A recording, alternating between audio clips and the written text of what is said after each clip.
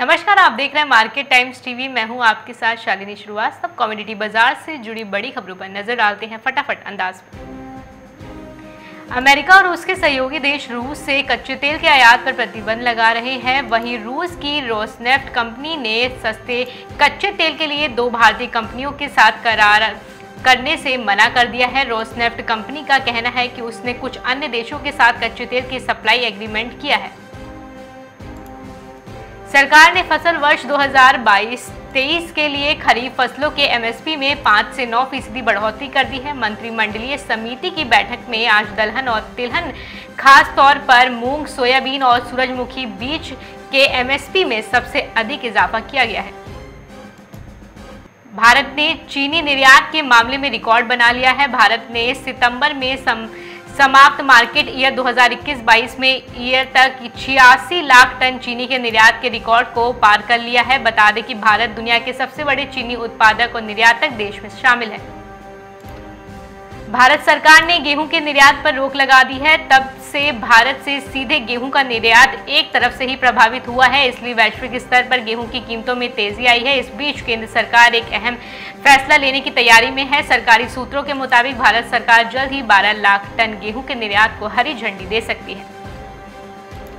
पंजाब में रहने वाले शराब प्रेमियों को नई सरकार ने कुछ ही महीनों के भीतर बड़ा तोहफा दिया है। मुख्यमंत्री भगवत मान की अगुवाई वाली आम आदमी पार्टी सरकार ने राज्य में नई आबकारी नीति को मंजूरी दी है। नई नीति के अमल में आते ही पंजाब में शराब की कीमतें 40 फ़ीसदी तक कम हो जाएँगी। वहीं सरकार को उम्मीद है कि नई नीति से उसे नौ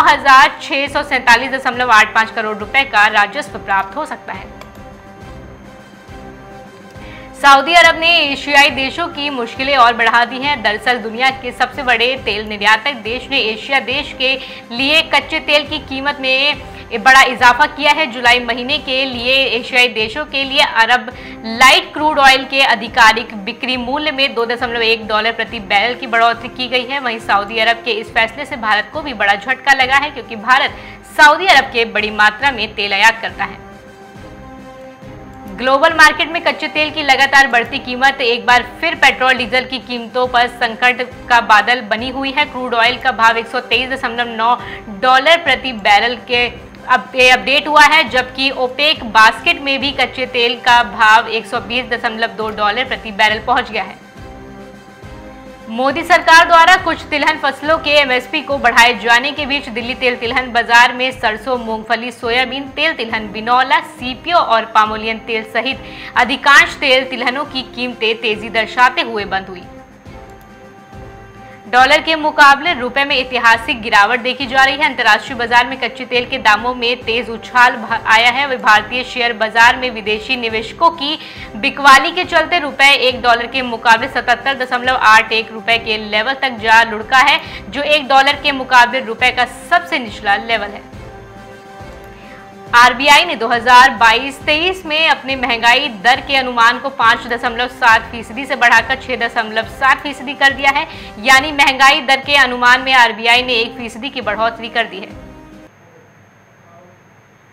तो कॉमोडिटी बाज़ार से जुड़ी बड़ी खबरों में अभी बस इतना ही, लेकिन और बड़ी खबरों के लिए आप बने रहिए मार्केट टाइम्स टीवी के साथ। मुझे दीजिए इजाज़त। नमस्कार।